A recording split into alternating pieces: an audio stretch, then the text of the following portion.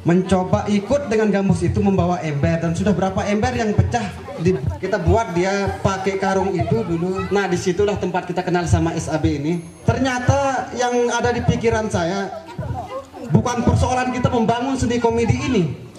Tetapi yang ada itu bagaimana kita saling membina saling mengerti di antara kita sekaha maupun pemain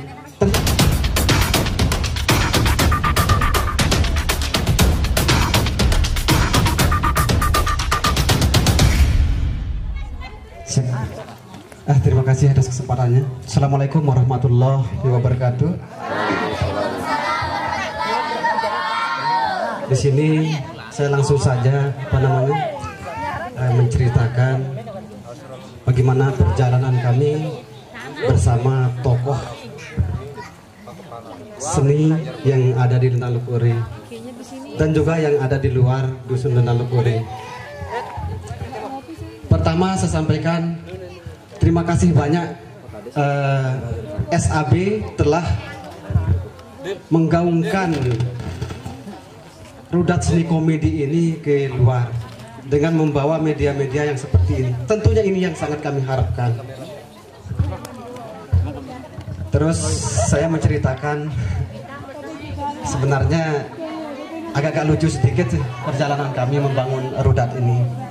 Karena pada saat itu sekitar tahun 2020 dulu bulan bulan 10 dulu itu. Kita coba pakai gambus pertamanya. kita mencoba uh, mainkan rudat menggunakan gambus pertamanya. Lama kemudian seorang dari sekaha ini mencoba ikut dengan gambus itu membawa ember. Dan sudah berapa ember yang pecah dibuatnya? Karena digunakan untuk uh, digunakan sebagai jitu dan seiring waktu karena uh, terus terang saja uh, Pak Kepala ketepatan Pak Raden Apiadi adalah dosen saya dulu di STKIP terima kasih banyak sudah datang ke Antalokore.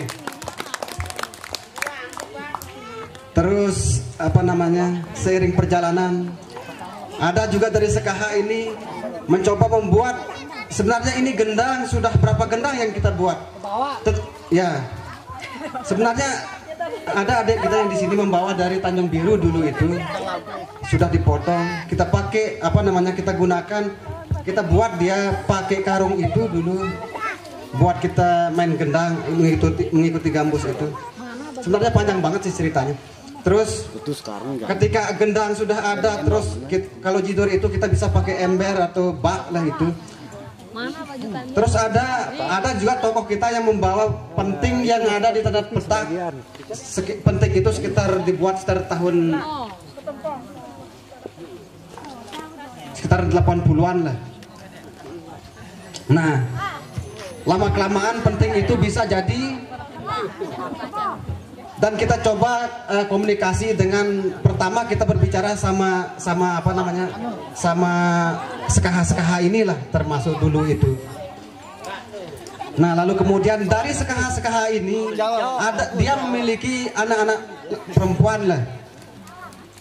Nah, ketika dia sudah apa rasa seninya sudah sudah hidup kembali masalah rudat itu, akhirnya dia beritahu anak-anaknya. Dan ternyata anak-anaknya ini sudah apa namanya mau dia ikut bersama kami yang lelaki ini untuk bermain rudat seni komedi ini. Dan pas di tahun 2020 kita coba. Karena walaupun seadanya kita memiliki peralatan, tetapi kita bisa jalan di tahun 2020 itu sekitar bulan 10 lah dulu itu. Nah dan pada akhirnya karena giatnya adik-adik kita yang perempuan, terima kasih adik-adikku semua karena telah mendukung kita yang dewasa-dewasa ini. Dewasa-dewasa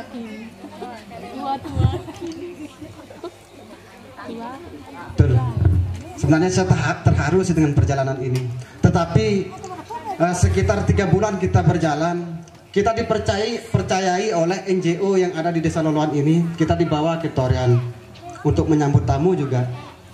Setelah itu kita kembali ke tanah petak. Setelah itu kita diundang lagi sama nah di situlah tempat kita kenal sama SAB ini. Pas dia ke, eh, ketika dia ke sini dan minta kita datang ke apa nama sebaya tanpa itu.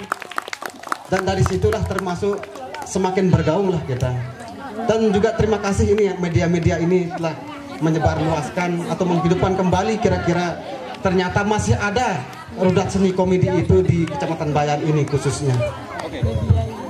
Dan pada akhirnya sampai saat ini ternyata yang ada di pikiran saya bukan persoalan kita membangun seni komedi ini tetapi yang ada itu bagaimana kita saling membina, saling mengerti di antara kita sekaha maupun pemain. Ternyata itu yang sangat berat. Kalau kita membeli atau membangun seni komedi atau katakanlah kita membeli jidur, gendang, penting, biola sama bapang, ternyata itu sangat mudah ternyata. Jauh lebih sulit kita membangun komunikasi bersama adik-adik kita bersama sekaha ini. Ternyata walaupun demikian kita saling apa diskusi itu, ternyata ada juga ada adik-adik termasuk saya sering bingung lah sering kesal juga sama teman-teman tetapi demi kemajuan kita bersama. Demi masa depan kita. Dan demi berkembangnya rudat seni komedi ini saya mampu mengontrol diri saya sampai saat ini. Doakan saja. Mudah-mudahan saya mampu mengontrol diri ini sampai seterusnya.